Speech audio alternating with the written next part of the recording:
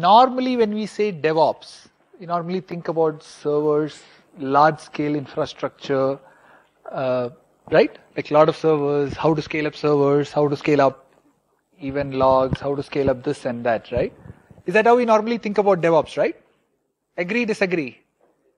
Okay. So here we have a speaker, Sriram. He runs a company called Watchy. Okay. And uh, before explaining what Watchy is, let me ask you another question. When you go to your hometown, wherever that be other than Bangalore, with your 3G dongle or a 4G dongle, and when you sit at home, does it go to a 2G speed? And it sucks. Skype doesn't work. Gmail doesn't load HTML Gmail. How many remembers loading HTML Gmail? Couple of hands, right? okay.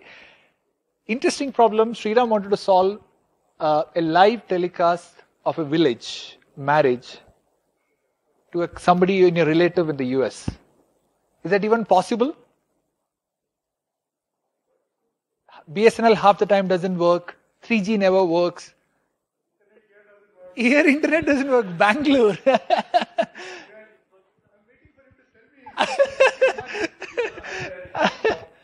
so interestingly, uh, Sriram has built something very interesting. Uh, I don't want to lose the excitement by uh, sharing what he has done. Over to Sriram to share his experience on how he solved a common Indian village problem in terms of how to get good bandwidth in remote areas through a very simple approach. Welcome Sriram on the stage.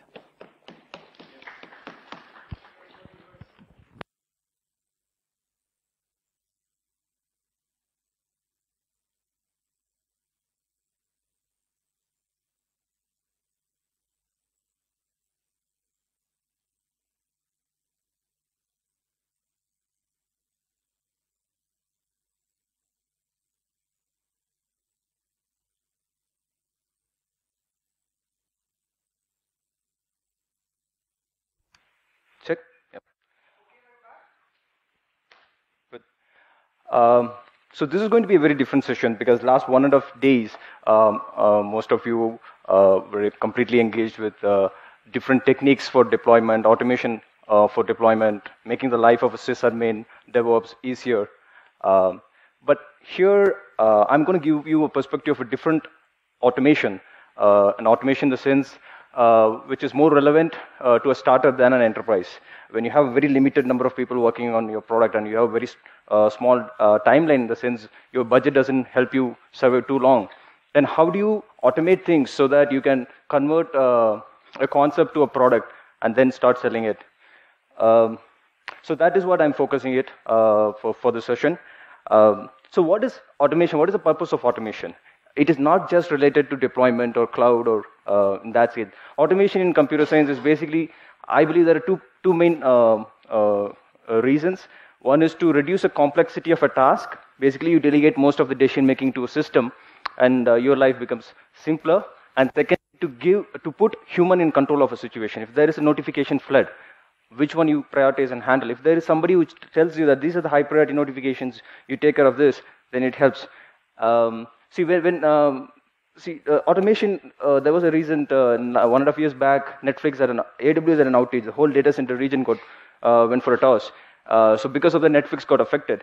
However, um, they they couldn't, they had the whole system automated, but you know in, in such eventualities, that is where actually human uh, intervention is needed, and the human intervention there was composing a regret email to all the customers. So you know those are the critical things where human can do, and rest of the thing we can delegate to a system. Um, so for a startup, uh, so uh, before going into this, let me introduce myself. You know, uh, uh some more than uh, what Shrikant said. Um, so I'm the CEO and founder of uh, Watchy Technologies, a 3.0 startup. What we do here is we try to see how to improve your internet speed. so there is a box. Um, a nice little box. I can show you the picture later, uh, which takes up to seven wireless connections, 2G, 3G, and 4G, combines the bandwidth and gives you one single high-speed internet uh, to your laptop or your, to any network device. Primary use cases for media broadcasting and uh, uh, event managers, uh, news coverage, and all that, any live video stuff. Now, we had an idea that we want to do this, but we didn't have a clue how to go about it. We had bits and pieces. We developed the software on x86 platform, but uh, Once you de deliver an appliance, it has to be a portable, run on battery, so it has to move to ARM platform. So we're doing a lot of R&D. So what is the right ARM processor? What is the right memory uh, uh, uh, size? What is the right USB controller? Because we're doing a lot of things on USB, so we need to have a very stable USB controller. What is the right kernel version? What is the right driver patches? So we had so many um, things in our mind to automate. Uh, so the first thing that we automate is automating an R&D part of it. So our uh, so this is this is a typical uh, our desk where you can see at, at least there are six to seven uh, different boards are there. Some of them are in development, some of them we are evaluating, uh, some from TI, some from Freescale, some from um, Allwinner, a Chinese company. So and we are evaluating different SOMs all at a parallel uh, at the same time. So we are trying to say which gives maximum performance, which is having the lowest power drainage, which uh, uh, is more stable, which has a better thermal capacity. On top of that, which is cost effective and giving the maximum performance. So now imagine we are building uh, all these, and uh, for every single variation, we have to do a lot of uh, measurements, um, including the CPU, RAM, power, voltage. Um, long duration, uh, how it works for long duration, is there any memory leak and all that. So there is a huge matrix we started building, and then we realized that it is not possible for, uh, earlier that time we were a three-member team, uh, so it is not possible for a three-member team to do all this. So we thought, let's change the philosophy. Let's not do uh, POC and then develop and then uh, ramp up a team and then build a concept, uh, build automation stuff. Let's automate the whole process of building the, the even the POC. So we automated this whole step where uh, uh, we have Jenkins and robot framework working together, which builds different firmware for us for all these different versions, which different pa uh, patches and kernels. And then all we need to do is quickly connect the cable and then certain uh, test starts running and we get the metrics. And what we do is we spend most of the time looking at the metrics and saying, okay, this guy is good, this guy is bad, and now let's try these combinations and all that. Another primary thing is how do you do field testing? See, field testing for us is very uh, critical. This is not a server appliance. It's going to sit in one data center enough to test in one particular. I'm sure even servers need to be tested across different uh, different uh, data centers. Uh, but imagine an appliance that has to go to. It can be working in any place. It can be here. It can be in a village. It can be in a train. How do you test on different scenarios? Uh, so we were doing sending people, uh, engineers to different places to do the testing. And what is always some of the testings are good, and some of the testings, the results were completely uh, nonsense. Um, later we realized that these people were testing near to a women's college, you know. So there are a lot of distractions. We cannot always trust on human um, uh, uh, nature to actually to do proper testing. Uh, so we cannot take risk of uh, uh, wrong measurements. So we automated the field testing. So you go and set up a device. Basically, this is our device, the white box, which can be connected to, here it is connected to seven 3G connections and it was serving around, uh, this is in Chennai, uh, serving around uh, 12.5 Mbps uh, at that place. Um, so we, we need to go to a field and do the measurement. So we have automated that process where we can just ask robot framework to do the measurement test and uh, you know even point out some anomalies. And of course, this. Have you ever done a long duration test? Uh, I think this is something. Um, I don't know how it is directly mapped to a, a, cloud deployment perspective. Uh, but here we don't have a, um, a, tier one, tier two, tier, tier three support, and it's all the developers. And once it is deployed, the box has to perform 24 by 7, at least not 24 by 7, we guarantee for 72 hours at least. So, so we have to do a 24 hour test, 36 hour test, and 72 hours test and measure uh, the, the temperature doesn't uh, go too high and the box, uh, the, the chip, chip is fried, or the RAM doesn't spike, there is memory leak uh, in course of time. Sometimes the memory leak happens after two, three hours of usage. So definitely, a, human cannot sit and measure this continuously. It has to be automated. So we, we internally we decided that let's change our philosophy to, to a, a different approach. Um, so most, uh, how many of you are developers here, or been a developer, or moved to? Great. So you, most of you must be knowing what is a TDD, uh, test-driven development. So the philosophy of test-driven development says if you're going to write a function, a logic, first write the unit test case. And then implement the logic. Never write the logic first. So you have, a, let's say, addition of two numbers. Then you write the unit test cases. 5 plus 5 should be 10. 5 minus 5 should be, 5 plus minus 5 should be 0. and then you write some logic, and as, as, as long as the logic matches the unit test case, your logic is correct. So that's the concept of TDD. Now, how do you do the automation? So we said instead of creating manuals and instructions for a human to read and execute on a target device, it can be your laptop, it can be your uh, uh, uh, computer or a server, or it can be our appliance. How do instead of doing that, why not create an instruction for a computer to handle the target device? So that was the philosophy. Now, what is new about this philosophy? Nothing. People are always writing instructions to the computer to handle a target computer or a target device. There is one catch here.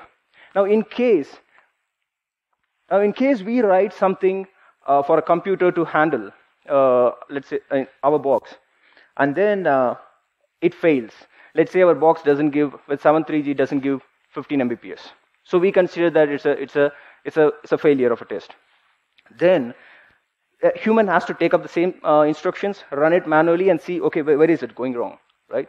Now a computer instruction can be written in any scripting language or, or programming language. Now if, if a human takes it, a human can be an intern, it can be an outsourced consultant, or it can be a busy guy who just need a couple of minutes to actually look look through it he doesn't necessarily have to go through all this programming stuff. He need not be a programmer. He can be an expert, user, user expert, or a domain, uh, uh, domain expert.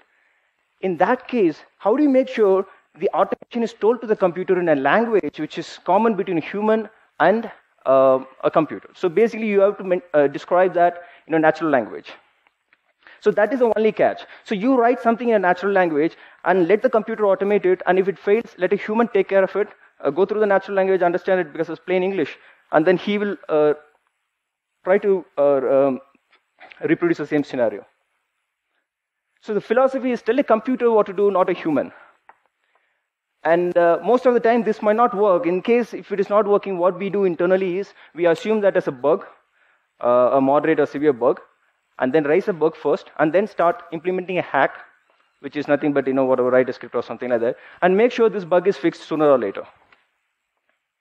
We don't raise it as a feature, we raise it as a bug.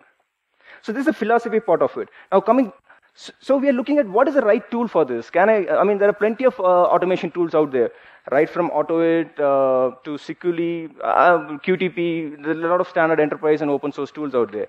But which, does, which supports our philosophy? Okay, there is something called automation-driven testing. We hacked this concept into doing automation uh, for everything this is not need, need not be applied only for uh, uh, testing uh, a, after writing a code, but this can be applied for anything, even for building, even for doing an R&D, even doing anything to a system, target system. Now, I will not go through the KDT and DDT part. Um, uh, so, but I'll, I'll, I'll, try to explain. KDT is a key-driven testing, um, which has a set of keys. A key is nothing but a statement in a natural language, plain English. Uh, data-driven testing is a matrix of key-driven testing. I'll just leave you for uh, this for a, you know, you can go and uh, read it later. What I'm more interested, uh, we have adopted is uh, uh, behavior-driven testing. Have you heard of Cucumber? So Cucumber is a behavior-driven testing. It got quite popular three, four years back, 2008 time frame, because that time I was with Tektronix. I was I proposed and developed a test automation system for Tektronix, which is using Tech is using. you guys know Tektronix? uh, popular for oscilloscopes. I was working for the MPEG division, uh, analyze, video analysis for them. Uh, so, so that framework is almost adapting the similar uh, normal, uh, you know, philosophy. And when I came out of tech, I was looking for a similar open source product. And then uh, is when I came across robot framework. The other, if you're if you're a Rails engineer and if you're hell bent on BDT, you might also try Cucumber.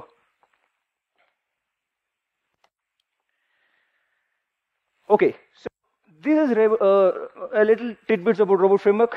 Um, that's a site. It has pretty much all the information, pretty uh, documented and self-explaining. Uh, of course, it's open source, and if you're using Python, uh, then this is a natural fit. And that, that, that, doesn't mean that it is not fitting anything else. Uh, it can be easily exp uh, expanded to different languages. We have done that. We have expanded it to UI testing tools, Selenium. They have a standard library for Selenium. They have standard library and we have extended it for uh. Have you used Sikuli? Yeah, it's a wonderful tool. If, if you're not, you should try using Sikuli. It can, uh, it, it might help you to uh, do some kind of uh, automation at the cloud level also. Uh, depends upon how your, your creativity.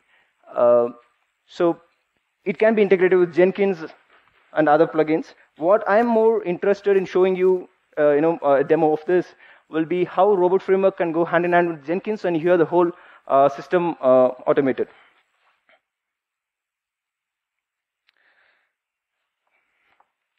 So I'm going to take you to uh, okay.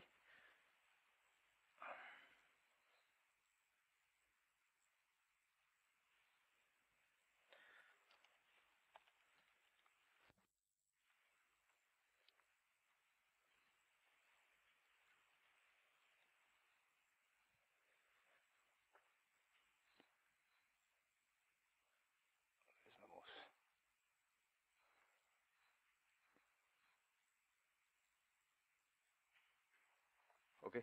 So robot framework is quite mature in the sense it has, uh, uh, this is Sublime, it has multiple supports. Where is the,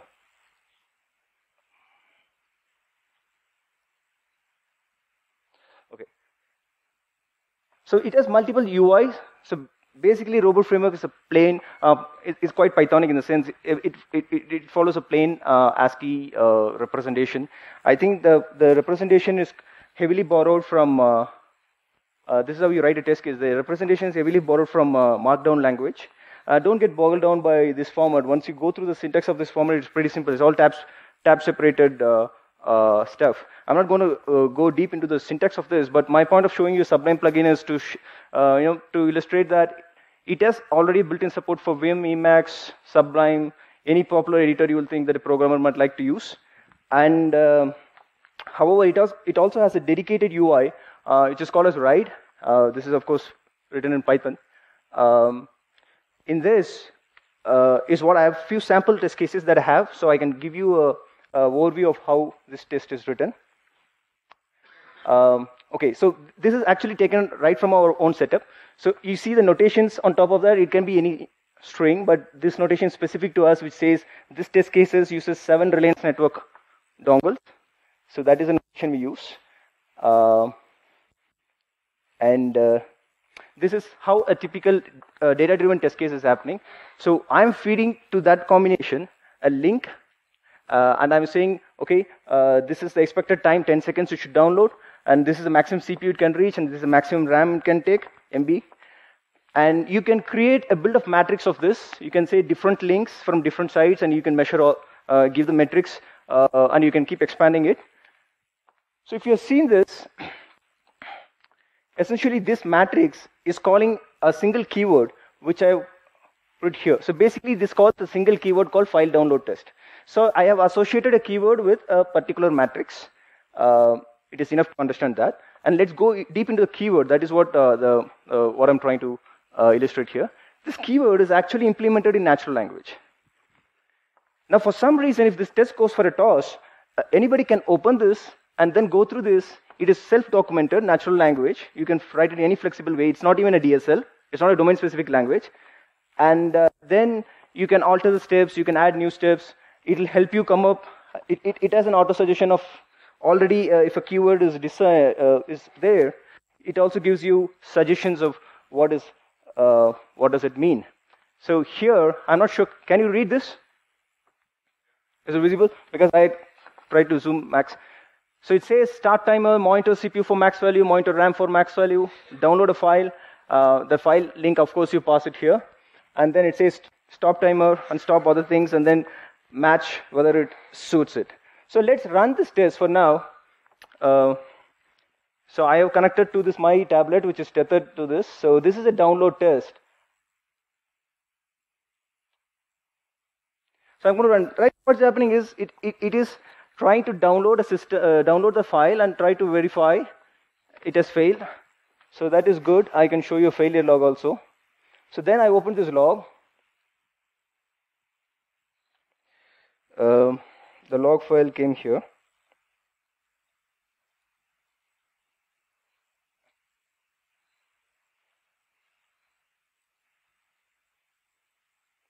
So the test case failed because uh, CPU is running at 90.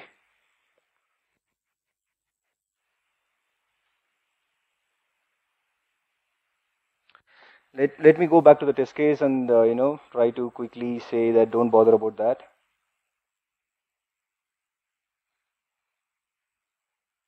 So he, this is a notation that we are using. You can actually say CPU should be SHO ULD should be greater than 90 also is fine. So I'll, I'll come to the magic how this thing is getting, uh, let's say CPU is, can be 100, not a problem. I think this should fix it.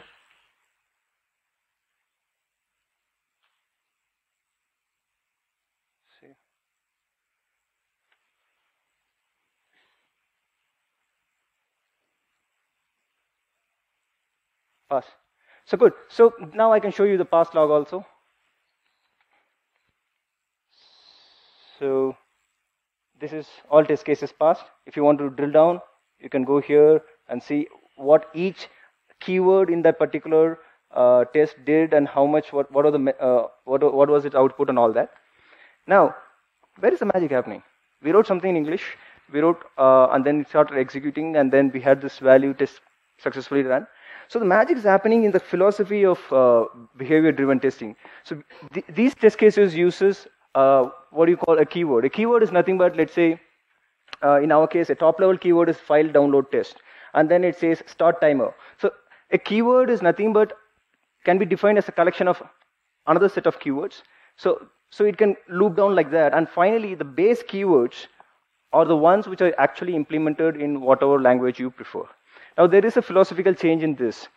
So it gives a freedom of writing the test case by an uh, you know non-programming guy he need not know any coding. He can go write uh, a test case in a natural language, and he can start reuse. As soon as he writes a keyword, it gets uh, uh, stored and started to be pr presented in the IntelliSense, and he can start extending these keywords for other test cases. So basically, somebody will sit overnight and write all the 100 cases, 100 test cases, and next day you come up and see you will have the base level test cases. That may not be 100, it might be like 20, 25 base level test cases because these keep on re getting re reused. And then you decide what is the right language to implement those base level test cases. In our case, we have implemented them in Python, but it can also be extended to multiple, uh, any different languages using a simple wrapper, Python wrapper. And then you start uh, using, so you're isolating uh, the test case writing phase uh, from a development phase, all but assuring that automation is going to happen right from the beginning. So I'm going to show you a small video clip. Uh, okay, I'm going to show, uh, do I have for a video clip or should? It's a one minute, less than a minute, which shows the integration to uh, uh Jenkins. So,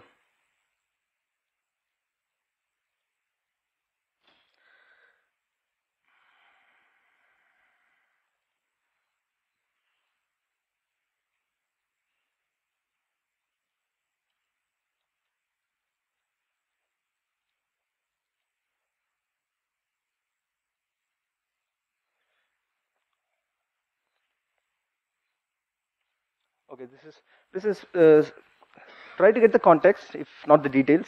That is that's fine. So we have a test case here, and uh, we ran the test case, and this is how we configure a Jenkins project.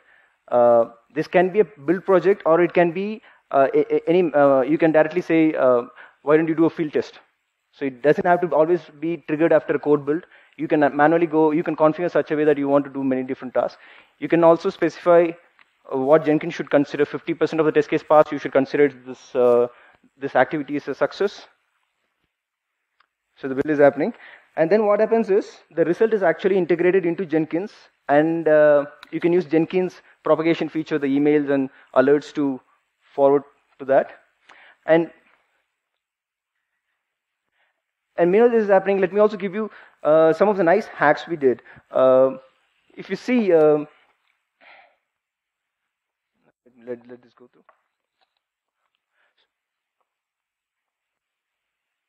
So the result is integrated right a graph into the Jenkins and then you have uh, the test case details also embedded within the Jenkins uh, dashboard.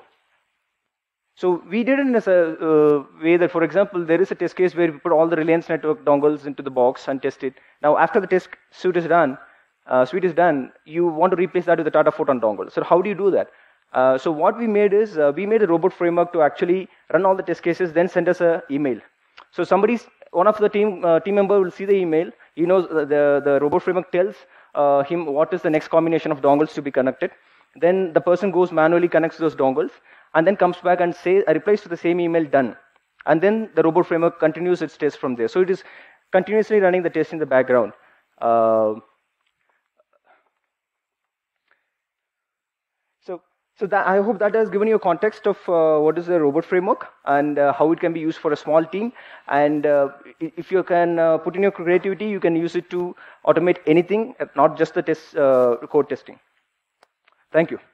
Wonderful. And if there is any questions, do I have time for Uh, questions? Is there one interesting QA that anybody wants to ask? Any question which is like anyone in the back here? Yep, there you go. So basically, this will connect to connect to a d- uh, different types of OSS ultimately, right? Exactly. So so then uh, then there there must be some firmware running on your device. Not necessarily. Uh, so- uh, earlier, somebody was talking about Ansible, right? It's a similar logic. You just need an OpenSSH server uh, running on it. Everything's done over the SSH. Okay. Okay. Cool. Thanks. Thanks. So the so the appliance doesn't uh, appliance on the server doesn't need to have any uh, daemon running on top of it to listening uh, to listen to the robot framework. Thank you. Wonderful, sir. Now you know if your village happens in the wedding, what to do. Call him and live stream it. Wonderful round of applause.